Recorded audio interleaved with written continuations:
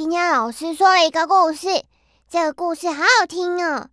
老师说，有一个鸭宝宝一出生就被他的兄弟们欺负，然后啊，他的兄弟都叫他丑小鸭，而且啊，丑小鸭不想看到妈妈难过，然后就离开池塘，离开家去外面流浪哦。然后啊，丑小鸭快要饿昏了。而且他找到一间屋子，然后他上前敲门。这个时候有一个老婆婆开了门，丑小鸭拜托老婆婆给他一点食物。老婆婆看丑小鸭很可怜，决定让他在这里住。然后啊，乌瓜，嗯，乌瓜，你干嘛自言自语啊？小林姐姐。我在跟小红红说故事耶。嗯，是什么样的故事啊？我说的是有关丑小鸭的故事哦。这个故事好好听啊。嗯，这个故事很有意义啊。写这个故事的作者是丹麦的安徒生先生。呃，不过乌瓜，你知道丑小鸭故事里的意义吗？哼，我当然知道啊。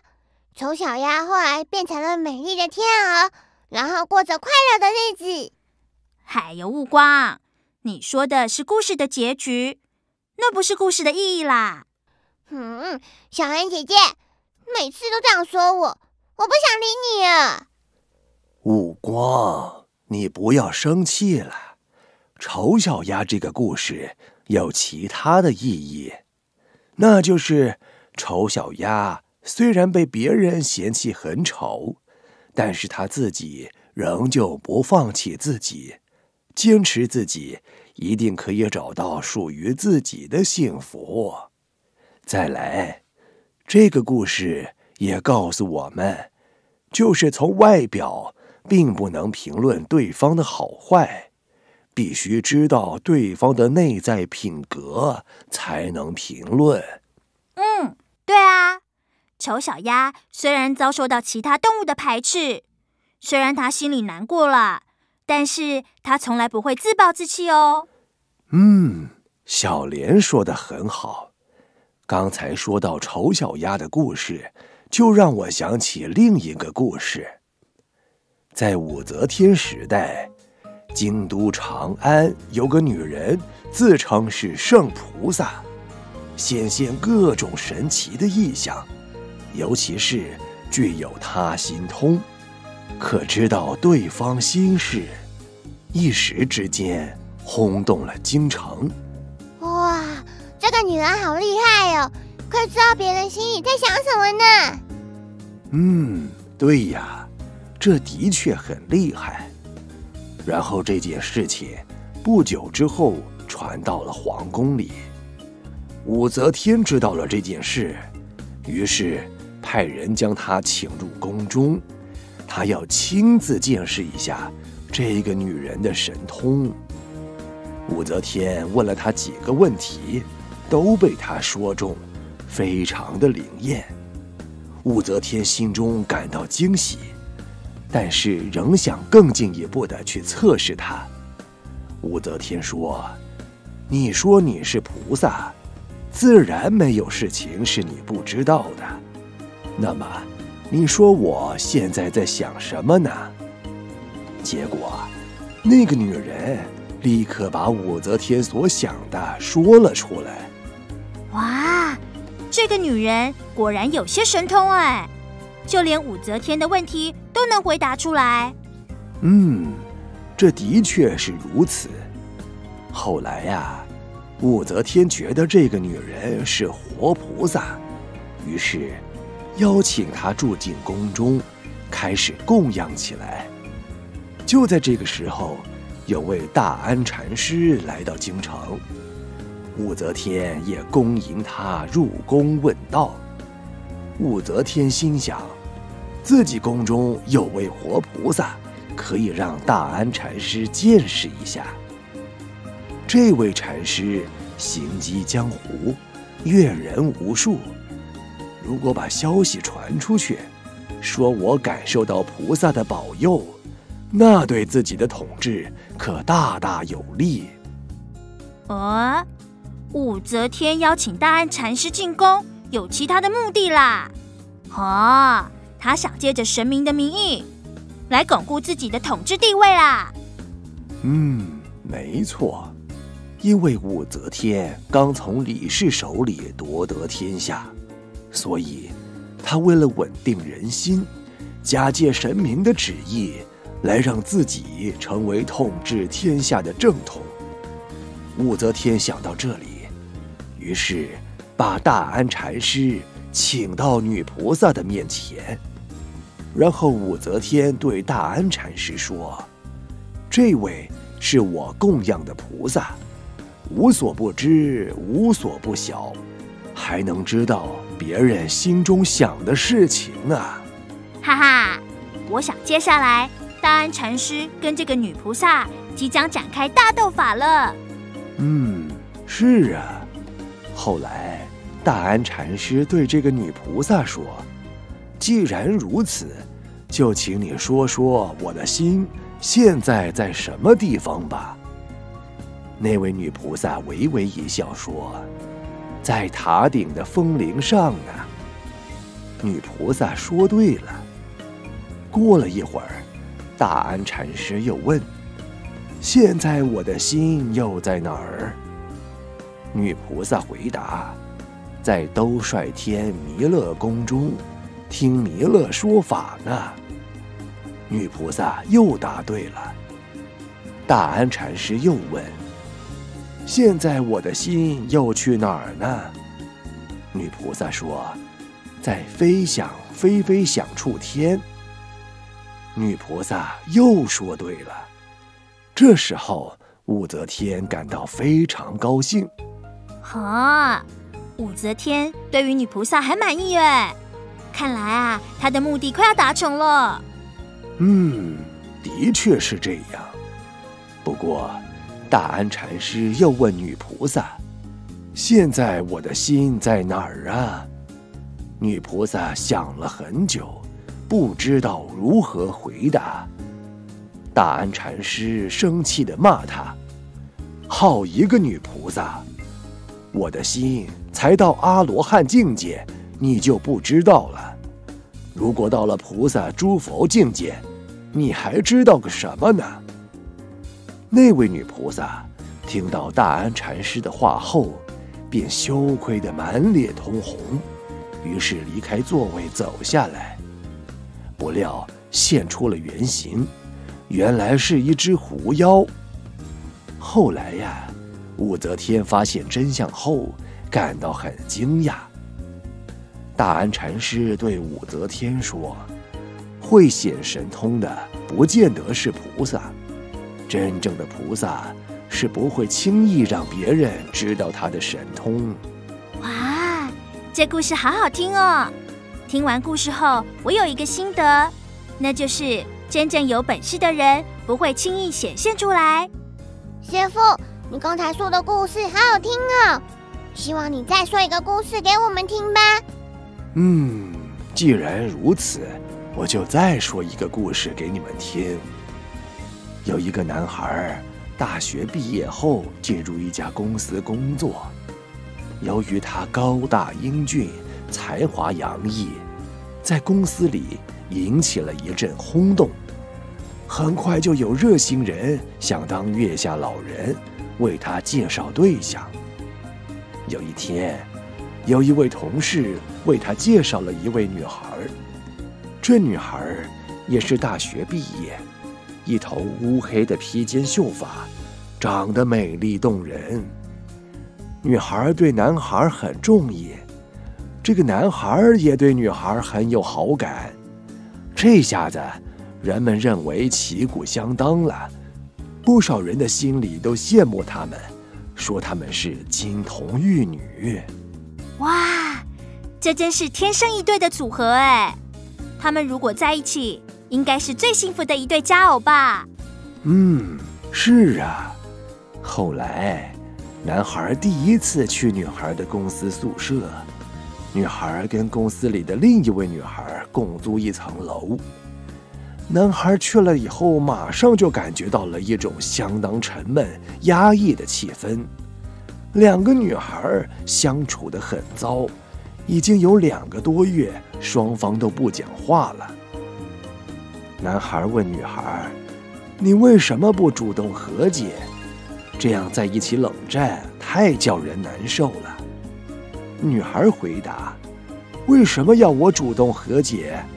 马善被人骑，人善被人欺，反正各住各的，别说两个月，就是一年半载互不说话，我也能够适应。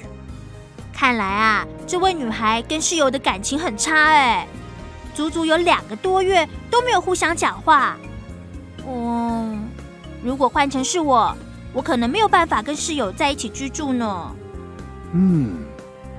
这样的事情让男孩听了之后，心里对于这女孩的印象变得不是很好。对于这件事，他想了几天，后来决定跟这个女孩分手。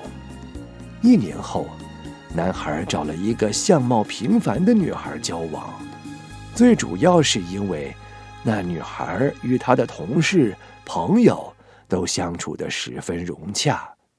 男孩对她非常钟情，因为男孩心里认为，一个能和身边的人相处的很好的人，将来也一定能与爱人相处的很好。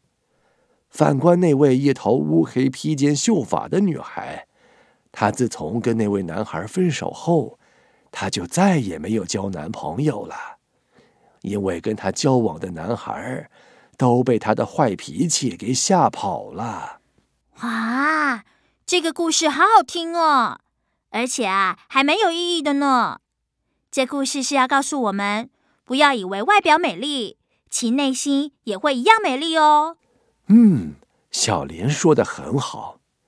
许多时候啊，人们会执着于外在优劣，但是却很少人会关注在其内在的本质。佛家常说，要正确的控制自己的精神状态，才不会被虚假的事物所迷惑。所以，当一个人能心平气和面对问题的时候，不仅可以从外在显现出的问题做解答，也可以用内在的本质去发掘问题。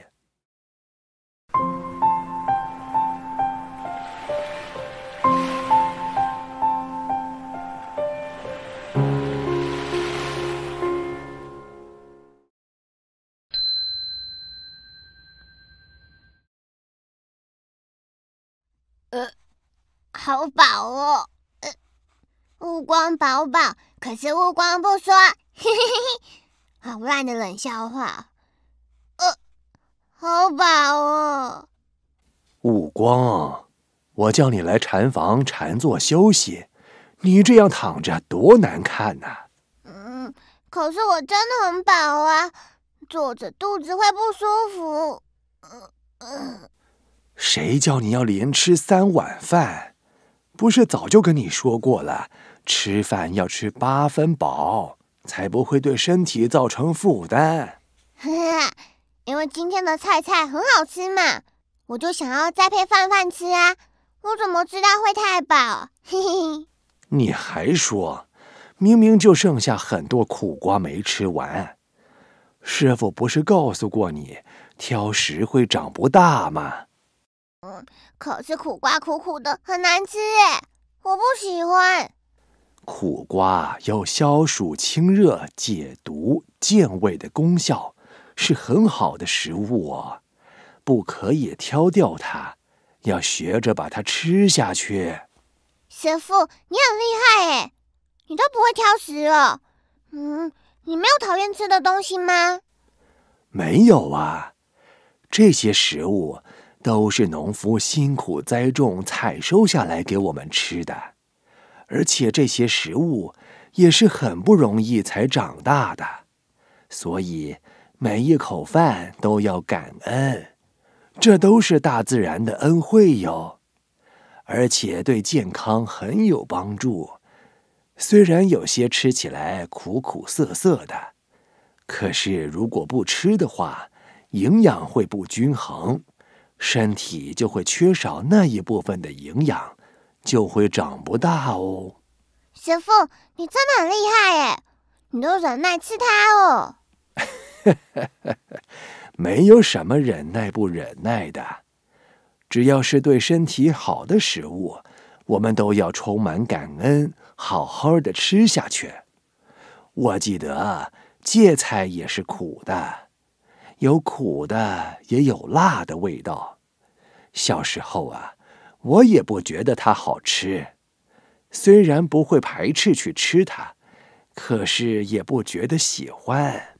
哎，可是师傅，我记得你不是很喜欢吃芥菜吗？那是因为呀，后来有一次我去菜园帮忙，看到农夫这么用心的在栽种芥菜，浇水啦、施肥啦，都要注意好多好多事情，我才知道啊，原来种菜这么不容易。反过来看看我自己，嫌芥菜苦就不喜欢它，就觉得好像对不起这么辛苦的农夫和努力长大的芥菜。其实芥菜也是有很多好处的哦。芥菜有增进食欲、抗老化、预防感冒、生长发育、预防成人病的作用，所以。后来我就越来越喜欢吃芥菜了，不知不觉就觉得芥菜的苦也很好吃了。哈，真的吗？嗯，那我要到什么时候才会喜欢吃苦瓜？也许要再等你长大一点了。哈，对呀，我记得酒也是，以前爸爸在家喝酒的时候，好像很好喝的样子。我就趁爸爸没有看到，偷偷喝一口，结果超级难喝的哎，又臭又辣又苦苦的。嗯，大人真的很奇怪哎，为什么会喜欢喝那种东西？然后我爸爸就说那是大人的味道，要我以后长大的时候才会知道。哼，我以后长大以后才不要喝那种奇怪的东西耶。大人的味道啊！没想到还有这种说法，那说不定悟光长大了以后就不觉得苦瓜苦了呢。我才不相信，苦瓜什么时候吃都是苦苦的，才不会因为我长大就觉得不苦哎。如果要我长大才会喜欢，哼，那我就不想长大了。嗯，为什么呢？因为很奇怪呀，哪有食物现在不喜欢，以后长大就会喜欢的这种事？师傅，长大真的好奇怪哦。长大一点都不奇怪，就算你再怎么不愿意，人都还是会长大的。师傅，阿弥陀佛。哎，小莲，你怎么来了？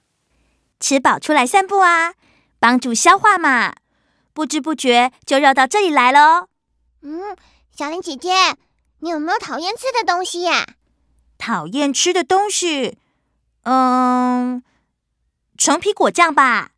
哦，那是什么？果酱应该很好吃吧？哦，那是我去日本玩的阿姨带回来给我们的。阿姨说，橙皮果酱是用下橙的皮做的哦，说什么有一种特殊的苦味，很好吃。可是我一吃，呃，就觉得很难吃啊。只有一点点甜味，剩下全都是苦苦的味道，真的不好吃哎！不知道为什么大人会喜欢那种味道。小林姐姐，我跟你说，那个就是大人的味道。哈，大人的味道？哦，是因为大人很能吃苦吗？原来如此哦。啊，大人喜欢吃苦哦？哈，不对吗？因为大人经历过很多事情，所以很能吃苦啊，所以就会觉得每一种食物都有它美味的地方嘛。哎，是这样吗？不管是成熟的还是不成熟的食物，都有它自己的味道。小孩子本来就比较喜欢甜的，对于比较苦涩的食物就会失去兴趣，也因为经历的事还不够多，就不知道怎么去欣赏每一种食物的味道。那等我长大了就知道了吗？要等到你真正的长大，也才能够体会吧。哎，那什么是真正的长大？长大又分为外表长大和内心长大。嗯，我讲一个故事给你们听好了。有一位年轻人跟禅师说自己内心很痛苦，禅师就说：“长大了就不苦了。”年轻人就说：“可是我已经长大了呀。”禅师说：“可是你指的长大是年龄的长大，是身体发育的成熟。”年轻人就问：“一个人除了年龄的成长和身体的发育之外，还有什么别的成熟吗？”禅师回答：“有，那就是内心的成熟。”好，内心啊。我们班男生的举动现在还很幼稚，所以内心就不成熟，就不算长大喽。嗯，人要经过很多考验和经历，从一次又一次的失败和成功里面学习，才会迎来内心的成熟。禅师又继续说：“你的内心没有成熟，当然会觉得痛苦。”然后禅师就到外面去，摘了两颗果子来，一颗是成熟的，一颗是青色的，然后把它们切开，就问年轻人：“你比较一下这两颗果子的横切面有什么不一样？”“嗯，颜色不一样吗？”“嗯，大小不一样。”“都猜错了。”年轻人说：“青色的果子内心是空的，成熟的果子内心是实的。因为成熟的果子有果核，而青色的果子没有。”禅师说：“我们都知道，成熟的果子是甜的，青色的果子是酸酸苦苦的。这是因为青色的果子内心还没有长大，也没有成熟。”而成熟就像这颗成熟的果子一样，内心永远是充实的。你再看这颗果核，你知道这代表着什么吗？我知道，果核就是植物的种子。对，禅师继续说，果核就是这颗果实的种子，它代表着内心的希望和信念。是创造另一个生命的起点。一颗果子内心永远是充实的，永远充满信念和希望，就代表这颗果子已经成熟了，自然也就会变得甘甜。人呢也是如此，当他内心充实，饱含着希望和信念，他就是一个幸福的人。就会感觉到快乐，内心充满甜蜜。哇，原来成熟可以带来幸福哦！我也好想要快点得到幸福哎。我觉得我每天都可以吃到好吃的点心，跟大家一起玩就很幸福了。那悟光就是一个容易满足、知足常乐的人喽，这样也不错呀。幸福是每一个人都想要的，我们都是一直不断去追求和争取它，就好像幸福是要经过一番斗争之后才能得到的奖牌一样。哦，难道不是那样吗？我小时候为了要买一样玩具，然后就努力的帮妈妈的忙，赚少少的零用钱，拼命忍耐，好不容易存够钱跑去买。真的买到的时候，我就觉得很幸福啊！对呀，我也是，存了好久好久的钱去买巧克力蛋糕。可是玩具等你长大了就不玩了，蛋糕也是吃完就没了，不就会觉得有一点空虚的失落感吗？嗯，听师傅这样说，呃，好像有一点哎。嗯，那是因为你心中所期待的幸福没有来。但其实幸福就存在你的心中。如果你的心中充满幸福，那么不管看什么都是幸福。懂得去欣赏事物美好的样貌，不就是一个幸福的人了吗？嘿，有道理哎！只要心里面觉得幸福，那我就是一个幸福的人哦。我的心里每天都觉得很幸福啊。所以我就是一个幸福的人了。那当然了。哇，太棒了！小林姐姐，那你要学我，你就可以变幸福了。小凤，我们都要当幸福的人呢。是要当成熟而且幸福的人。